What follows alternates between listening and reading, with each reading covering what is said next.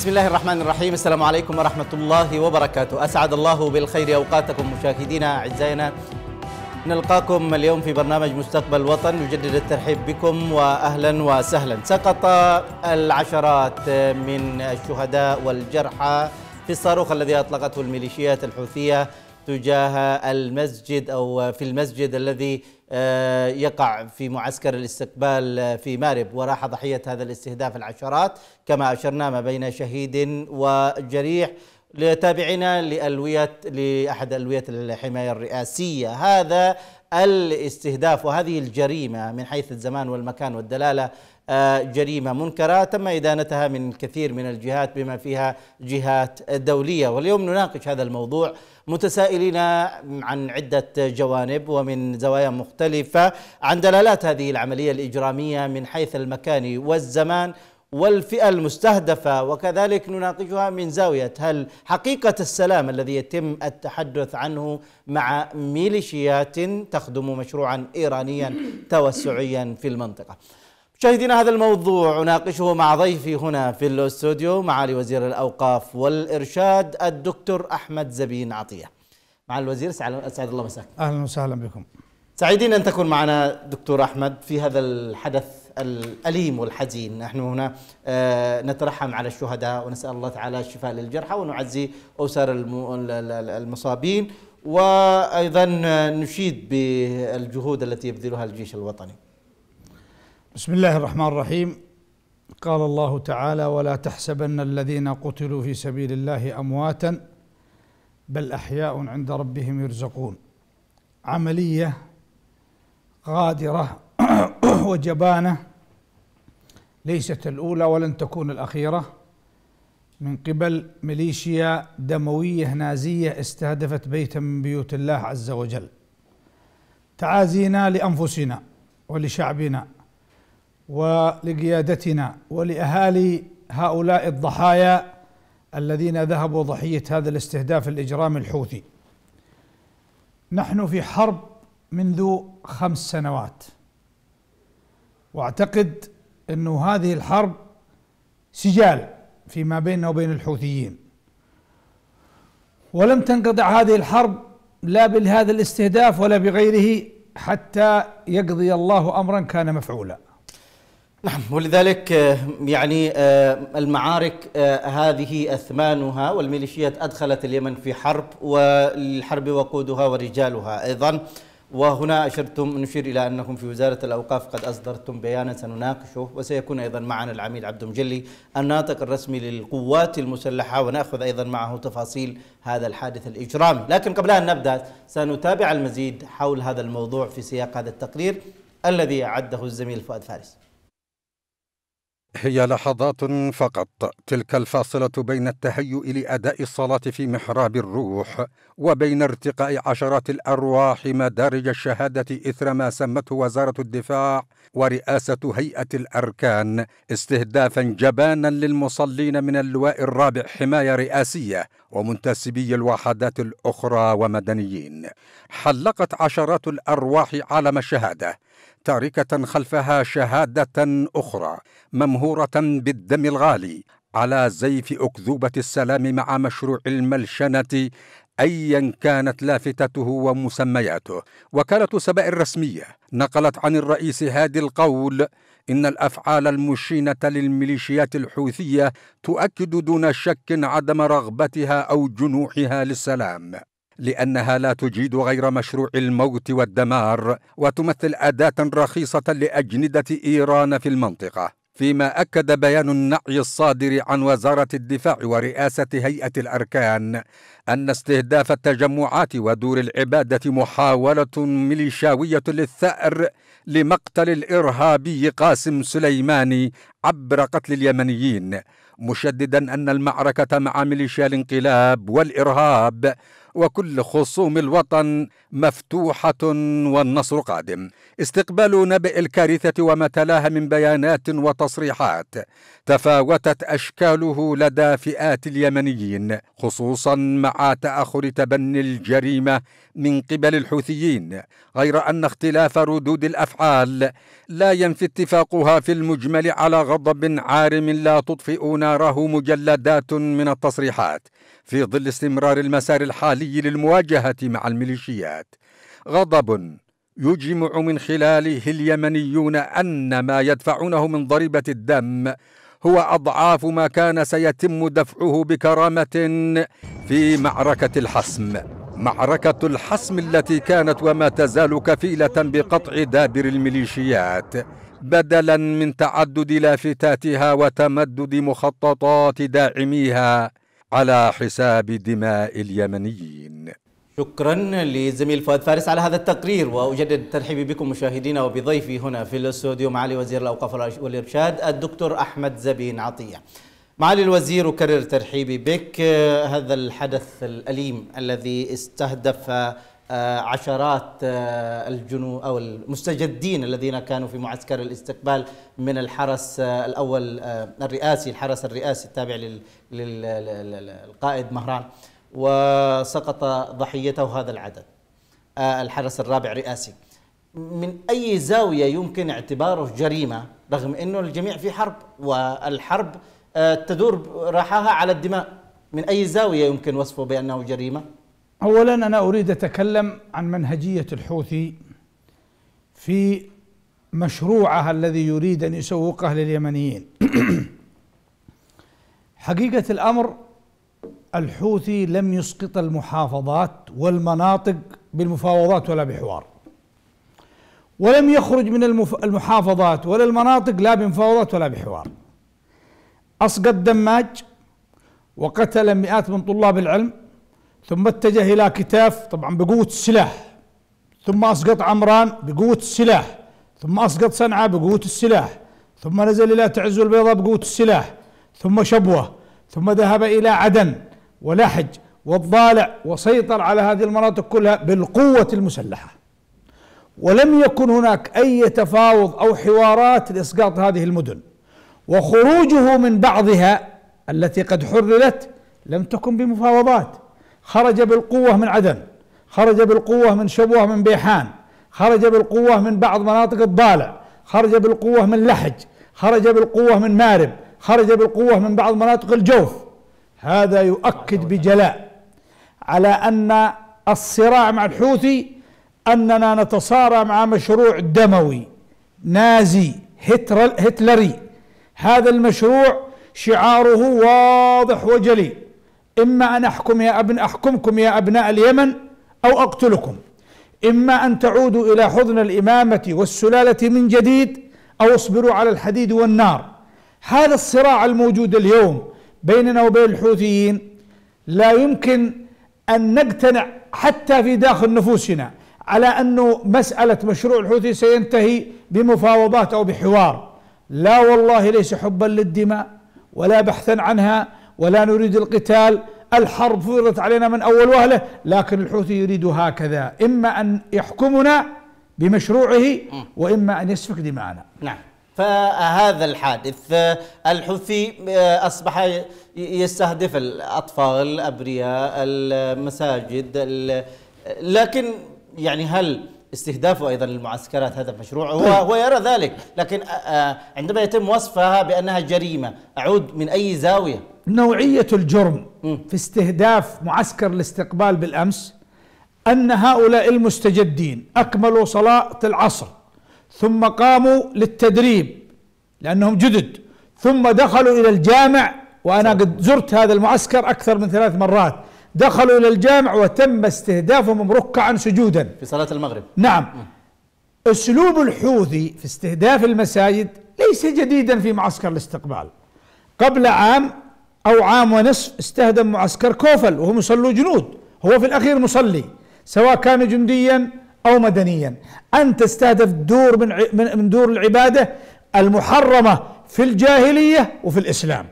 اثنين استهدف قبل أسبوعين مسجد في الحديدة. ثلاثة منهجيته في التعامل مع المساجد ليست ليست الأولى. هو مشروعه قسم المساجد إلى ثلاثة أقسام. وهذا أشرنا إليه في بيان وزارة الأوقاف. قسم من المساجد دمرها وأبادها وقضى عليها بالكامل وهي ما يقارب من ستة وسبعين مسجدا. والقسم الآخر استخدمها الحوثي مجالس لتعاطي القات وإقامة المهرجانات والصرخات والضجيج ولا يعير اهتماما لقدسية المسجد الذي قال الله عنها وأن المساجد لله فلا تدعوا مع الله أحدا. القسم الثالث آه، آه، حولها إلى مخازن للأسلحة وللتغذية للميليشيات الإرهابية. لن تمر بيوت الله بمرحلة إهانة وتدمير وتخريب مثل ما حصل في عهد الحوثي في هذه الخمس سنوات. والصنف الذي ما زال بيديه يستخدمه للتحريض ويعني التعبئة ضد أبناء الشعب اليمني باتهامهم أنهم منافقين وأنهم يعني عملاء إلى ما إلى ذلك من هذه الاتهامات. طيب أنتم في وزارة الأوقاف والإرشاد أصدرتم بيان في هذا الجانب. ما الذي أشرتم إليه؟ نحن أشرنا إلى نقطة مهمة. هذا يعني آه، كتحليل للبيان وهي الحوثي يريد تغيير ديموغرافي في اليمن. ومن يعتقد أن الحوثي جاء من أجل الحكم فقط فهو غلطان. الحوثي لا يريد الحكم فقط. هو بيده الصنعة الآن ومسيطر على كل شيء. الحوثي يريد أن قلب على الحكم على الدين على السياسة على الثقافة على العادات والتقاليد. فرض على اليمنيين طقوس ومقررات بعيدة عن الإسلام كبعد المشرق والمغرب. لا يوجد في اليمن منذ 1200 عام ونحن نتعايش. أنا شافعي وأنت من منطقة زيدية. تعايش الشوافع والزيود 1200 سنة أمورهم على ما يرام. ما في خلاف. إطلاقا كان تنوع مذهبي جميل. جاء الحوثي وحرف هذا المذهب ولبسه باللباس الإيراني وأخرجه عن مسارها الصحيح وفرض على الناس الصرخة. لم تكن موجودة عند اليمين لا في عاداتهم ولا في دينهم وفرض عليهم يوم الغدير. أنا الآن في 45 سنة وأنت قريب مني في السن ونسأل منهم أكبر منا. لم نكن نعرف ما يسمى بيوم الغدير ولا يوم الولاية ولا يوم الصرخة ولا مسيره القرآنية. كل هذه الطقوس مستوردة من النظام الإيراني. وكان ينكر ويدعي أنه لا علاقة له بإيران عندما قتل الإرهابي سليماني انكشفت الحقيقة. ذهبوا بأنفسهم وبالزي اليمني ليحضروا مراسيم العزاء عند آه، خامئني ثم بعد ذلك علقوا لافتات وكان الحزن في صنعاء أشد حزنا حتى من طهران والأسف الشديد. هذا هو مشروع الحوثي وهذه طريقته في مسألة تغيير ديموغرافي وعقدي لليمن. وإخراج اليمن من الهوية العربية الإسلامية إلى هوية مختلفة تماما. إلى هوية فارس، لكن آه، آه، اشار أيضا مع حادثة بمناسبة اشارتك لحادث مقتل آه، سليماني، عبد الملك الحوثي كان قد تفاعل كثيرا كما تفاعل نصر الله وغيرهم مع الخطاب الإيراني عن هذا الموضوع متوعدا أيضا بالرد. البعض يربط بين هذا الذي حدث في أحد مساجد معسكرات مأرب من استهداف للواء أو اللواء الرابع حرس رئاسي وسقوط العشرات ما بين هذا الحادث وحادث مقتل آه، سليماني كنوع من أنواع الرد. ونحن نعرف أن ردودهم لا تطال الأمريكان ولكن تطال العرب والمسلمين. جميع الميليشيات المرتبطة بإيران الحوثيون في اليمن. الحشد الشعبي في العراق. ميليشيات بشار الأسد في سوريا. تمام؟ حزب الله في لبنان. كل هذه الميليشيات المرتبطة بإيران كلها تتصرف وفق غرفة عمليات واحدة وأوامر واحدة وجهة واحدة وبالتالي ستشاهد قتل في العراقيين انتقاما للسليماني ستشاهد تصفية في اللبنانيين انتقاما للسليماني ستشاهد القتل في اليمنيين وهذا جزء هذه الجريمة جزء. انتقاما للسليماني وهكذا كلما رمت إيران بميليشياتها في أي بلد من البلدان جعلت القضاء في رجالاتها وفي قياداتها أن يقتلوا شعبهم. وهذه هي النتيجة الحتمية لهذه الميليشيات عندما ترتمي في أحضان العمالة والارتزاق سواء كان ارتزاق على حساب دينك أو على حساب سيادتك أو وطنك هذه تكون النتيجة. وبالتالي نحن نعتبر إنه ما هدد به عبد الملك الحوثي من استهداف الشعب اليمني هؤلاء هم جزء من الشعب اليمني. هؤلاء جاء يبحثون عن لقمة العيش مجند جدد يريدوا أن يدافعوا عن وطنهم ويحصلوا على معاشات كما يحصل عليها أي مواطن من حقه أن يعيش. ويستهدفهم هم بين يدي خالقهم وباريهم يصلون في صلاة المغرب. طيب يصلون في صلاة المغرب. آه، العدد كبير آه، معالي الوزير القاضي الدكتور أحمد عطية. العدد كبير آه، إلى الآن تقريبا 110 ما تم إعلان عنهم شهداء. هناك 80 جريح. طبعا هذا أثار حزنا وسخطا أيضا في أوساط الناس. سخط من عدة نواحي. من عدة نواحي من ناحية أنه كان بإمكان هؤلاء أن يقتلوا في الجبهات مع الميليشيات الحوثية لو كانت الجبهات محررة وسيحررون آلاف الكيلومترات من أراضي اليمنية من سيطرة هذه الميليشيات. هذه نقطة سنناقشها عسكريا، لكن من زاوية أخرى اجتماع هذا العدد الكبير في المسجد وهم يعلمون أن الآخر اللي هو الحوثي لا أخلاق له في الحرب، فلماذا يجتمعون بهذا العدد؟ أنا سأتكلم في هذه النقطة من شقين. الشق الأول أنه ليس من الحكمة ولا من العقل ولا من الشرع. في زمن الحرب أن يجتمع الجنود يصلون في المعسكرات صلاة جماعة. لا يصلوا صلاة جماعة اطلاقا يصلوا كل واحد بمفرده في صلاة الخوف وهي صلاة خوف تصلي طائفة وتبقى طائفة تحرس وهكذا. أما نحن في مرحلة استهداف مع هذه الميليشيات التي تجاوزت كل الخطوط الحمراء. فيجب علينا أن نراعي هذا الجانب الشرعي وهو عدم اجتماعهم صلاة جماعة كل جندي يصلي بمفرده أو مجاميع صغيرة أيوة. أيوة. الأمر الآخر أن خطر الحوثي والسلاح الذي بيده ما زال يتسرب إلى هذه اللحظة عبر ساحل الحديدة الذي لم تحرر إلى الآن يعطينا رسالة مفادها على أن الحوثي لا يؤمن بسلام وأن الذي يضرب هذه الضربات بصورة وحشية وجنونية لا يريد سلام. وعلى من يعتقد سواء كان سواء كنا نحن في الشرعية أو دول التحالف على أن الحوثي سيقترب منهم شبرا أو ذراعا عليهم أن يراجعوا حساباتهم. هذا وهم. نحن اليمنيون عاشرنا الحوثي فترة طويلة من الزمن وربما البعض عرف مشروع الحوثي من الثمانينات. الحوثي عنده مشروع وهو جزء من الهلال الشيعي. الحوثي عنده مشروع يريد أن ينفذ أجندته في جزيرة العرب ويستهدف الحرمين الشريفين لا بلغه الله ذلك. وعلينا أن نتعامل مع الحوثي بأنه عدو وأنه بغير الحسم العسكري سنظل نحن. والأشقاء في المملكة والأشقاء في الخليج بشكل عام في دائرة الخطر. لأن هذه يد إيران إذا لم تبتر بحق وحقيقة من اليمن فالخطر ما زال قائم. الحسم العسكري الذي طال انتظاره فترة طويلة من الزمن آن الأوان اليوم أن يتخذ هذا القرار بجدية وصدق. والشعب اليمني قد ضحى بعشرات الآلاف. يعني لا يمكن أن يكون التضحية القادمة بأقل مما يضحي به. نحن لا نريد القتال ونرددها مرارا لا نريد الدم لا نريد الحرب لكن من البادي؟ لما الآن يتكلم الحوثي ويقول العدوان من هو المعتدي؟ المعتدي الذي الذي اجتاح المدن والعواصم ونهب المعسكرات وجاء إلى عندي إلى داخل شبوة وجاء إلى عدن وجاء إلى لحج وللضالع وجاء من صعده وجاء من عمران وجاء من حجة وجاء من المحويت. هذا هو المعتدي. أنا ما اعتديت ما ذهبت إليه هو الذي جاء يعتدي إلي ويسيطر على المحافظات ويسقطها بقوة السلاح.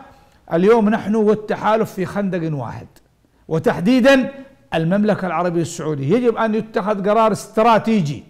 من قبل القيادة السياسية في الشرعية والقيادة في المملكة بأنه بقى هذه الميليشيات بيدها هذا السلاح خطر علينا وعلى المملكة وإيران تضخ لهم. وبالتالي لا يريد العالم وبعض الدول في العالم اليوم المؤثرة في القرار الدولي لا تريد تحرير الحديدة لأن تحرير الحديدة معناه أنك تقطع حنجرة الحوثي.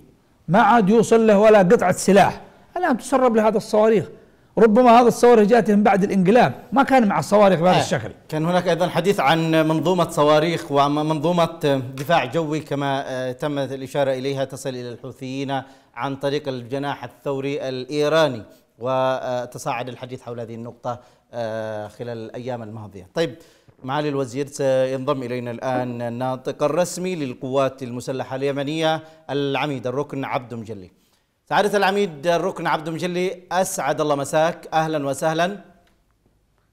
أهلا وسهلا بك أخي مختار الفقيه. مرحبا سعادة العميد. آه هذا الحادث الإجرامي الذي استهدف آه آه مستجدين كانوا يؤدون صلاة في أحد معسكرات مارب والصورة تثبت أن الجريمة استهدفتهم وهم في المسجد. ما تفاصيل هذه الجريمة ونتائجها حتى الآن؟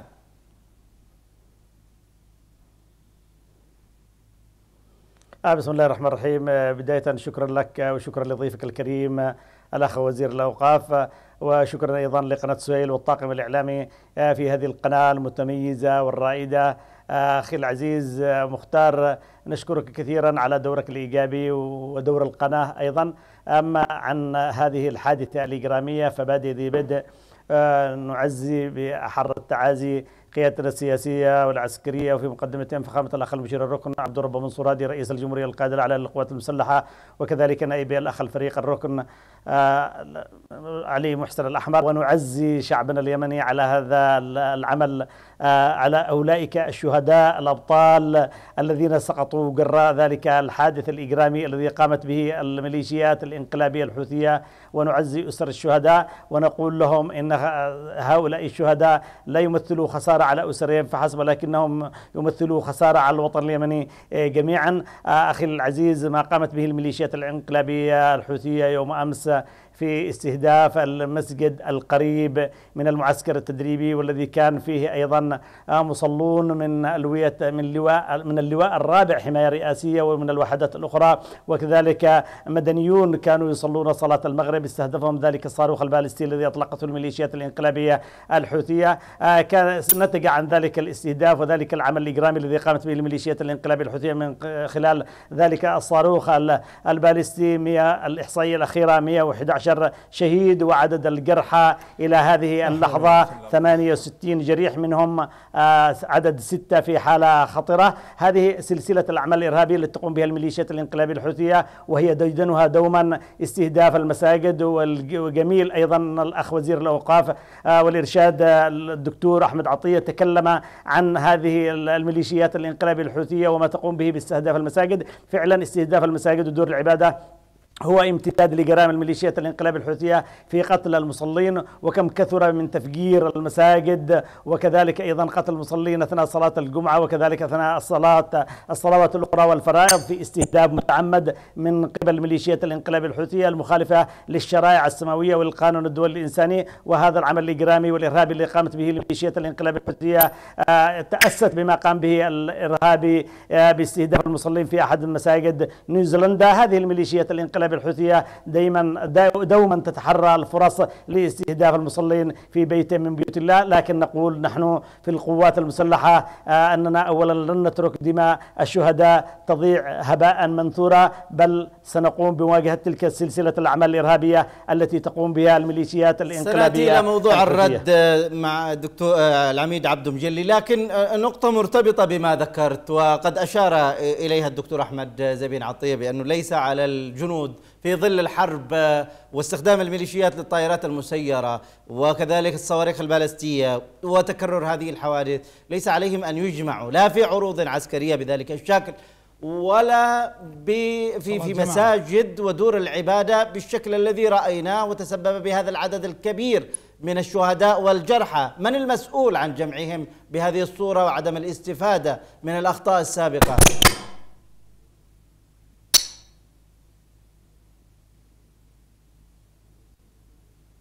سمعت سؤالي سعادة العميد عميد عبد المجلي. أعيد السؤال. من المسؤول عن جمعهم بتلك الصورة؟ رغم الأخطار المسبقة المحدقة والتجارب المريرة السابقة.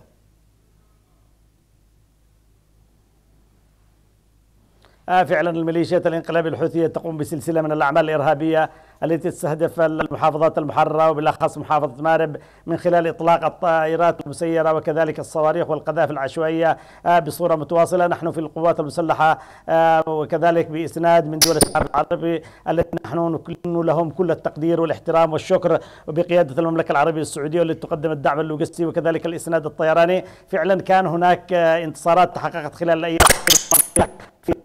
وتم تقدم الجيش الوطني. نحو مساحات شاسعة واسترداد أيضا أو استعادة عدد من المواقع القتالية واستعادة كميات من الأسلحة والذخائر وكبدت الميليشيات الانقلابية الكبيرة والمعدات هذه الميليشيات الانقلابية الحوثية أخي العزيز وقرات تلك الانتصارات أصيبت بالجنون وأيضا قامت بإطلاق تلك ذلك الصاروخ البالستي على رؤوس المصلين هذه الجريمة لن تضيع سدى ونحن في إطار توجيهات فخامة الأخ الرئيس وحسب الخطط الاستراتيجية والتكتيكية لابد من التحرير الكامل لكل أرجاء الوطن من قبضة الميليشيات الانقلابية الحوثية التي لا ينفع معها تلك المعاهدات والاتفاقات والتي رمت بها في قاع نعم. البحر البحر هذه الميليشيات الانقلابية الإجرامية لا ينفع معها إلا لا ينفع معها إلا الحزب العسكري وسناتي إليه. لكن فقط أعود إلى الموضوع والسؤال الذي أشرت إليه. يعني آه، هل من أدب يعني آه، آه، ألا تدرك قيادة الوحدات العسكرية خطورة الوضع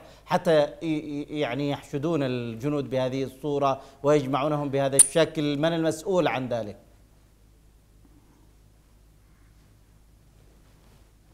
هذا السؤال وجيه وهو سؤال في غاية الأهمية أخي العزيز. نحن كان هؤلاء من الجنود والصف والضباط. وكذلك أيضا من المدنيين كانوا أثناء صلاة المغرب يوم السبت وهم يدون شعيرة العبادة أو شعيرة صلاة المغرب وكان هذه الميليشيات الإنقلابية آه، لهم بالمرصاد. نحن هناك توجيهات فخامة الأخ الرئيس القائد وكذلك توجيهات الأخ وزير الدفاع بأن تتخذ الجاهزية القتالية الكاملة وكذلك اتخاذ الإجراءات الأمنية والوقائية وكذلك أن تعمل وسائل الدفاع الجوي لوقاية القوات. من ذلك الاستهدافات المتواصلة التي تقوم بها الميليشيات الانقلاب الحوثية وستقوم أيضا دول التحالف العربي بقيادة المملكة العربية السعودية من خلال الطيران باستهداف آه، مصادر النيران ومصادر الصواريخ والطيران المسير للميليشيات الانقلابية الحوثية التي يوما بعد يوم تفاجئ آه، قواتنا المسلحة والشعب اليمني بتلك حق شعبنا اليمني. أخي طيب العزيز. سعادة العميد سأعود إليك. أعود إلى معالي وزير الأوقاف والإرشاد الدكتور أحمد زبين عطية فيما يتعلق بهذه السلوكيات وتصاعد الحديث على أن العام 2020 سيكون عاما للسلام وأن هناك مؤشرات من هذه الميليشيات الحوثية بأنها ستجنح نحو السلام. أليس هذا مؤشرا حقيقيا ومؤكدا على رفض هذه الميليشيات للسلام؟ ما هو الرد عليه؟ نحن أول من هرول إلى السلام وذهبنا إليه في أربعة مذاهب. ذهبنا إلى بيل وذهبنا إلى جنيف وذهبنا إلى الكويت وذهبنا إلى ستوكهولم. وكلها مجرد شعارات يرفعها الحوثي وهو يتلقى توجيهاته وتعليماته من طهران. ثم عندما نأتي إلى التطبيق تظهر العورة لهذا السلام المفضوح. وبالتالي نحن نطالب اليوم المبعوث الأممي الذي ما زال عنده أمل نقول له أكبر امتحان للمنظمة الدولية ما حصل في الحديدة. الحديدة لم يبقى إلا بضعة كيلومترات واسقطوا هذه المحافظة التي كانت تقطع الشريان الإرهابي الذي يورد معه الأسلحة ويرمي بها اليمن ويرمي بها دول الجوار.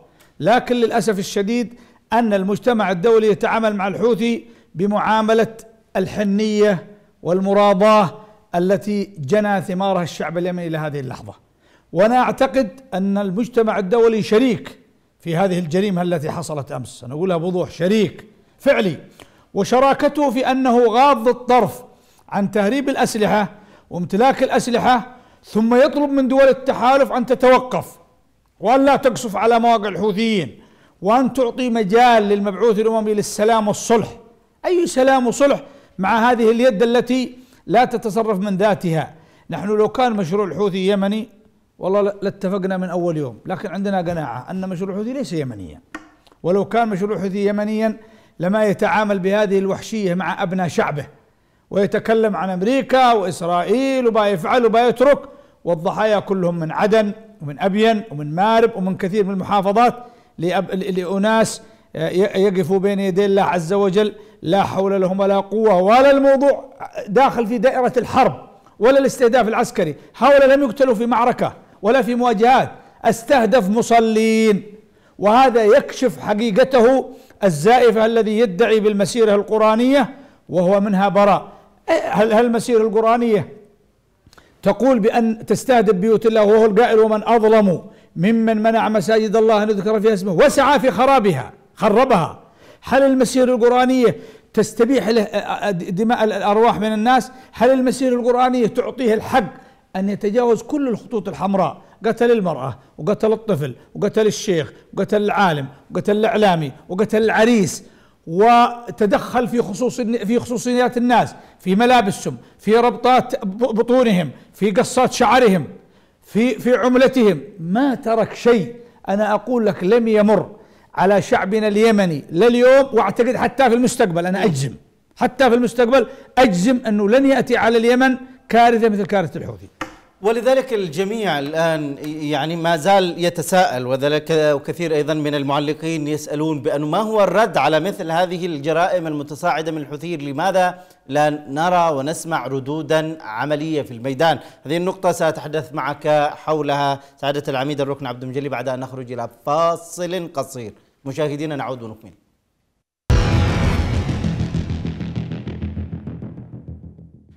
مرحبا بكم مشاهدينا الكرام. عدنا إليكم بعد هذا الفاصل القصير لنكمل حلقتنا وحوارنا مع ضيفنا هنا في الاستوديو معالي وزير الأوقاف والإرشاد الدكتور أحمد زبين عطية ومع أيضا العميد الركن عبد مجلي الناطق الرسمي للقوات المسلحة ضيفي عبر الأقمار من مارب. وأستكمل معك الفكرة سعادة العميد الركن عبد المجلس هذا الاستهداف الذي طال هؤلاء الجنود المستجدين آه، في معسكر الاستقبال في مارب ليس الأخير بل سبقته استهداف ليس الأول بل سبقته استهداف سابقة لجنود وراح ضحيتها أيضا قيادات.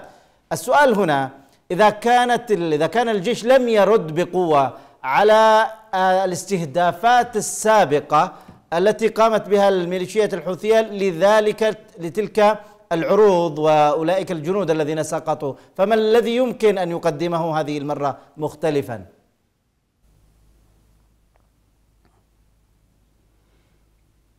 نسأل الله سبحانه وتعالى الرحمة للشهداء والشفاء للجرحى والحرية المختطفين.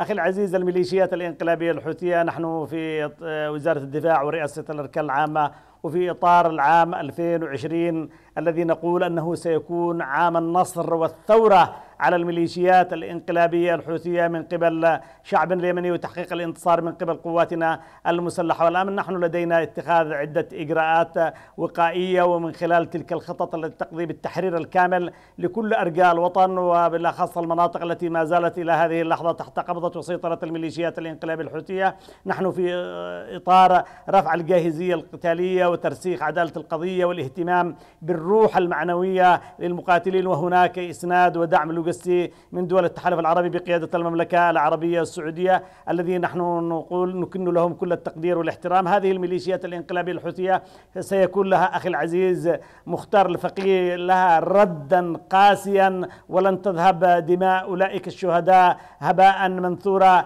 من تلك الميليشيات الانقلابية الحوثية. سيسطر المقاتلون الأبطال في المواقع القتالية في كل الجبهات القتالية الانتصار سيكون الرد قاسم ومزلزل والأيام بيننا وستكون الأيام القادمة قاسمة على الميليشيات الانقلابية الحوثية المدعومة من إيران.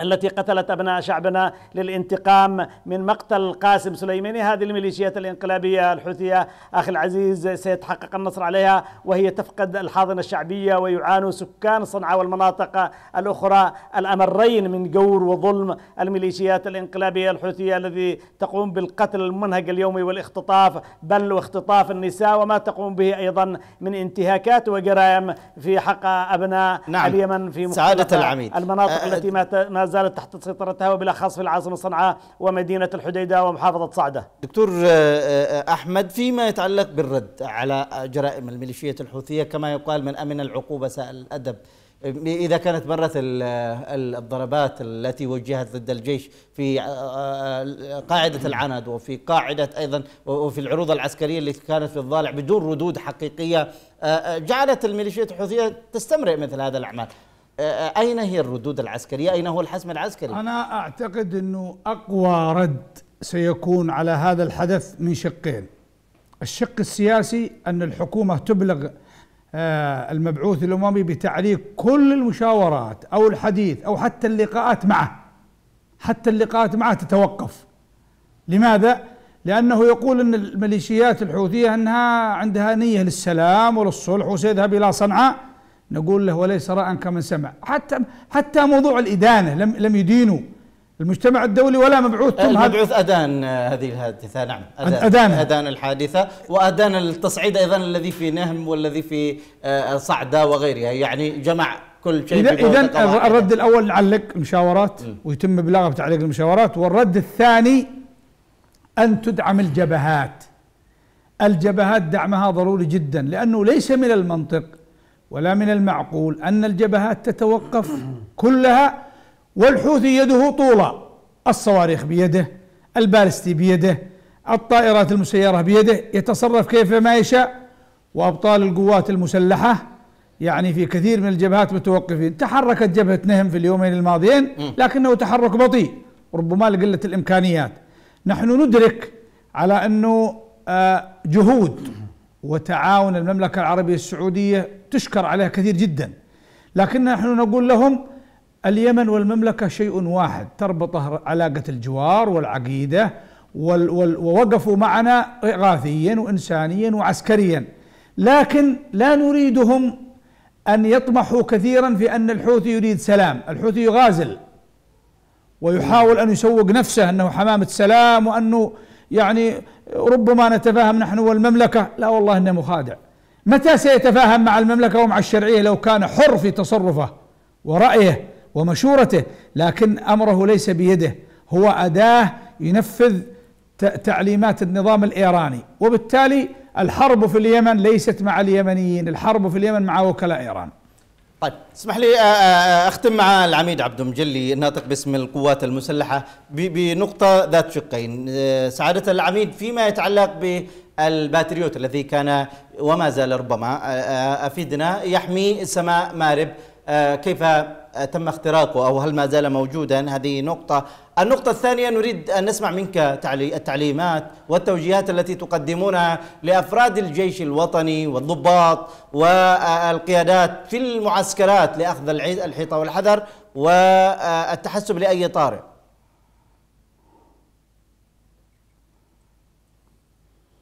آه فعلا أخي مختار الفقيه سؤال وجيه.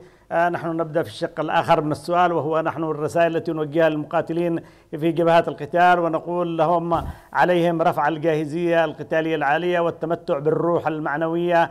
آه، فالروح المعنوية لا تقل آه، دورا عن الأسلحة. فالأسلحة والمعدات ما هي إلا كتل حديديه يحركها المقاتل الذي يتمتع بالروح المعنوية العالية. فالمقاتل بدون روح معنوية عالية كالجسد بدون روح. فالمقاتلون في الميدان فعلا هم جبال فوق الجبال العالية سواء في جبال نهم وفي غيرها من الجبال. وكذلك أيضا في الصحاري والتباب والوديان هم سيحققوا النصر. ونقول لهم النصر قادم وعليكم اتخاذ كافة الإجراءات والاحترازات الأمنية واليقظة والانتباه وعدم الاستهانة بالعدو كما يقال إذا كان عدوك نملة فلا تنملة. ونقول لهم العرق في الميدان يوفر الدم في المعركة ومزيدا من التلاحم ومزيدا أيضا من أخذ الثار من الميليشيات الانقلاب الحوثية المدعوم من إيران والثار لأولئك الشهداء الأبطال وللمواطنين الذين يتلقون الضربات والجرائم والانتهاكات من قبل ميليشيات الانقلاب الحوثية. نقول للمقاتلين الأبطال الذين سيصنعون النصر آه، في المستقبل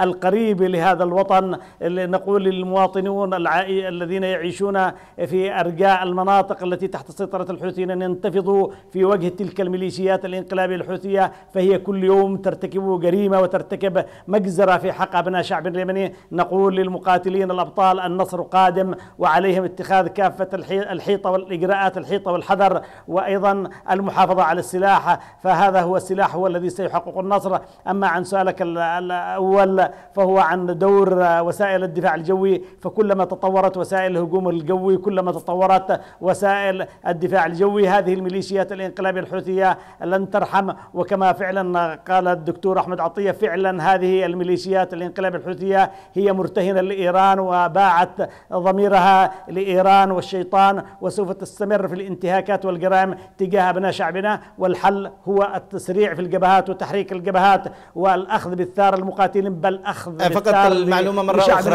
هل ما زالت مارب الذي انتهكته الميليشيات محمية بمنظومة الباتريوت أم أن انسحاب الإمارات منها أخلى المجال؟ لا أدري.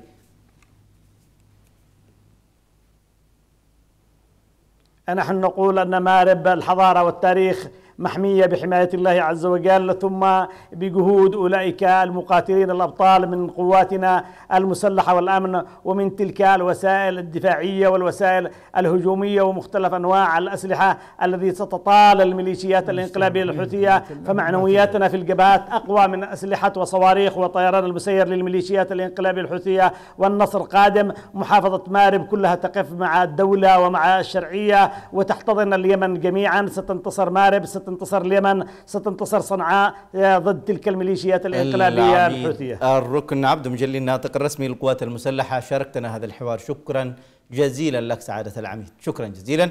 أعود إلى الدكتور أحمد زبين عطية. فيما يتعلق بدلالة المستهدفين من تم استهدافهم هم مستجدين وجنود ضمن اللواء الرابع حرس رئاسي الذي يقوده مهران القباطي.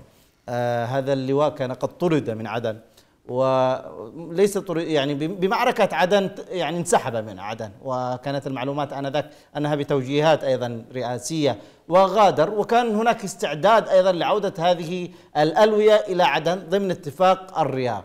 نتذكر أن هاني بن بريك غرد عندما سقط معسكر الحماية الرئاسي الرابع لمهران القباطي قال سقط ال ال ال سقط اللواء الرابع حرس إرهابي.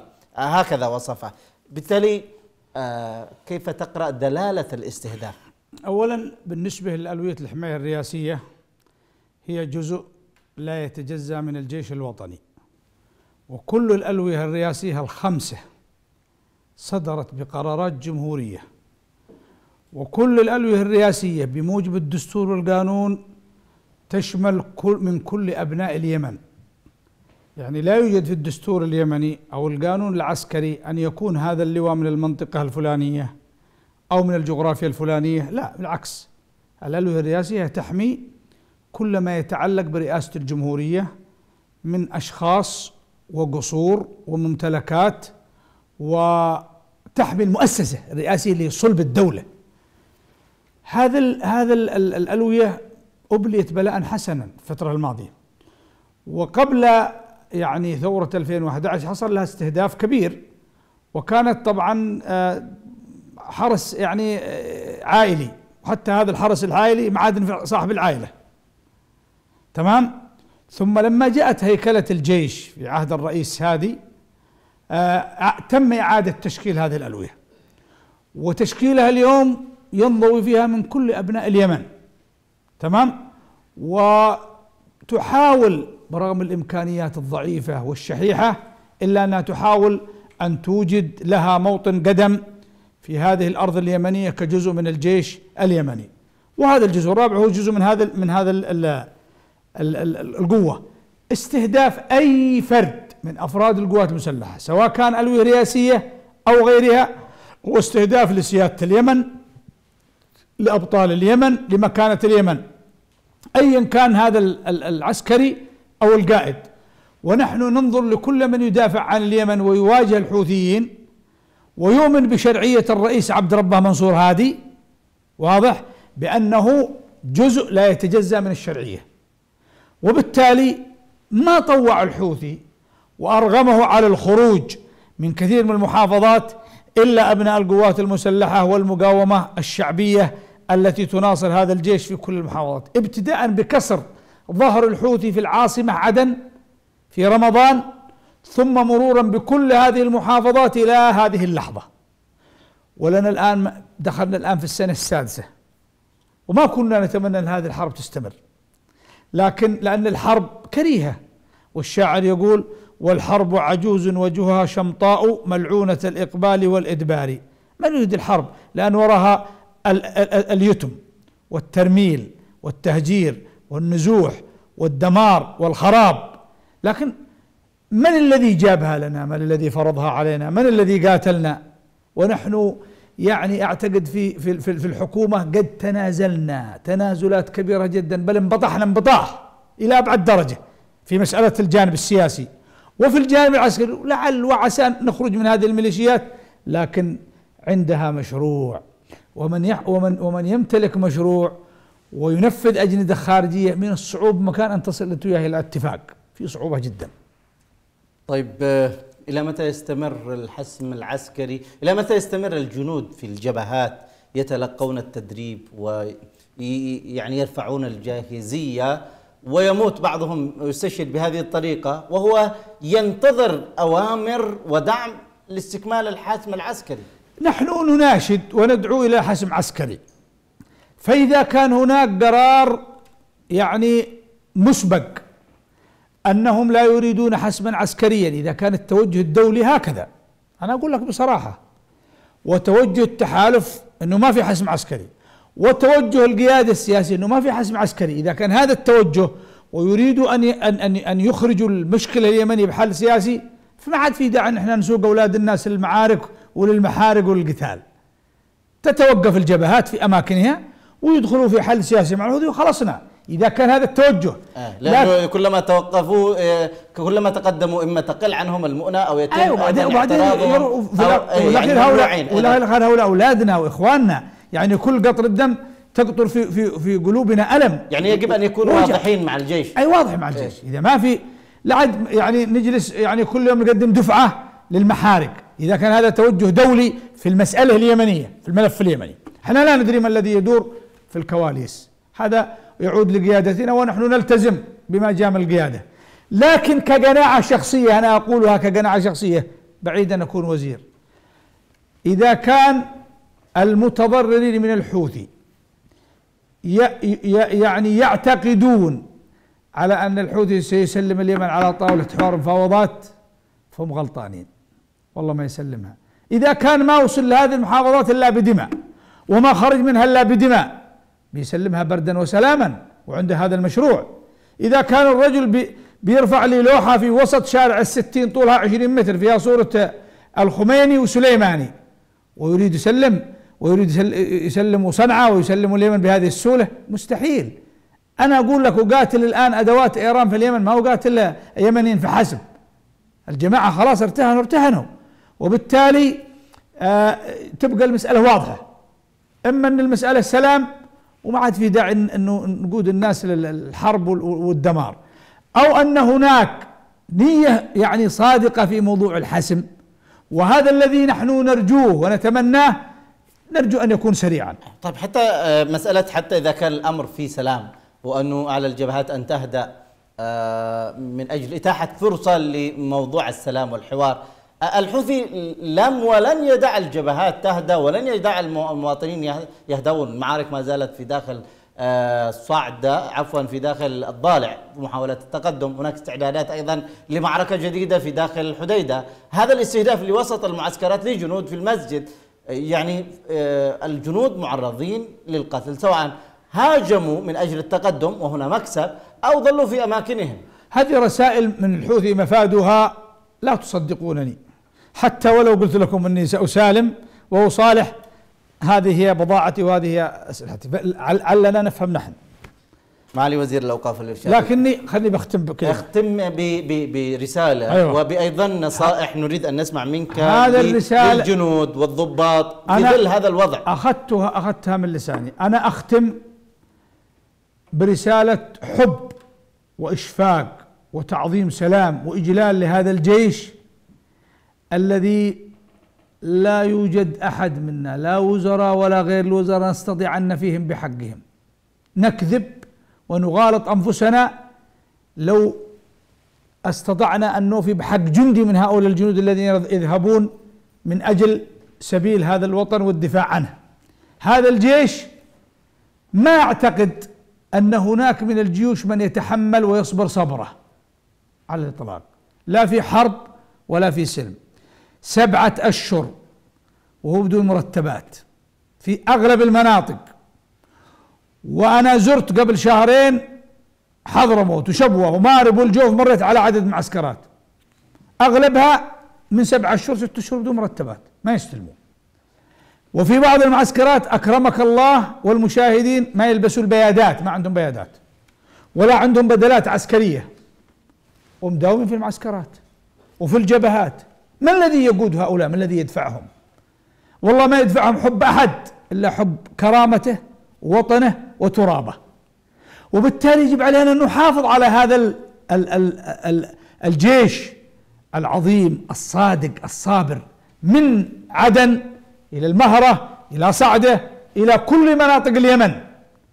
يجب أن نحافظ على هذا الجيش وأن نكرمه وأن نعطيه طلباته وأن نقدم ما يريده الجيش علينا كمسؤولين ووزراء ومحافظين وغيرنا وحتى دبلوماسيين. تعطى الجيش الأولوية في مرتبات قبل المدني العسكري قبل المدني لأنه يخاطر يترك زوجته وأولاده وأهله وغيره جالس في النعيم المقيم. هذه رسالة حق. يجب أن نبعثها للجيش الوطني وأن نتعامل مع هذا الجيش بمصداقية وننحني برؤوسنا. وعمائمنا وهاماتنا لهذا الجيش إجلالا وإكبارا نسأل الله أن يحفظهم وأن يقيهم إيه من شر هذا العدو. ماذا عن الاحتياطات التي يجب أن آه، آه، قادة وضباط أن يهتموا بها أكثر في والله يا أخي الكريم من باب التوجيه المعنوي. يا أخي الكريم موضوع الاحتياطات أعتقد ليس من راء كمن سمع. بالله عليك كل يوم ونحن نتلقى ضربة في مكان. في هذا المنطقة نفسها في خلال شهرين ضربة في صحن الجن. وضربة أخرى في صحن الجن أو يسمونه الآن صحن الوطن وهذه الضربة الثالثة. وفي ضربات في الضالع على الجيش وفي ضربات في لحج في ضربات في عدد المحافظات. المفروض أن يكون أنا ما عندي خبرة عسكرية لكن المفروض عندي يكون عند القيادة العسكرية حقنا احتياط. لا يلدغ المؤمر من جحر مرتين ناقد لدغنا عشر مرات مش مرة واحدة. معالي وزير الأوقاف والإرشاد الدكتور أحمد زبين عطية شكرا جزيلا لك. ولأيضا رسائلك الطيبة التي أشرت إليها ولجهودك أيضا الكبيرة في دعم الجيش الوطني ومعركته ضد هذه الميليشيات شكرا للعميد الركن عبد مجلي الناطق الرسمي للقوات المسلحة اليمنية الذي كان معنا في حلقة اليوم عبر الأقمار الصناعية من مارب. نكرر دعواتنا بالرحمة آه، للشهداء والخلود في جنات رب العالمين والشفاء آه، للجرحى الذين أصيبوا في هذا الحادث. ولجميع شهداء وجرحى الجيش الوطني الشفاء الرحمة لمن مات منهم والشفاء لمن أصيب منهم وإلى نصر بإذن الله. قريب دمتم في أمان الله وإلى اللقاء.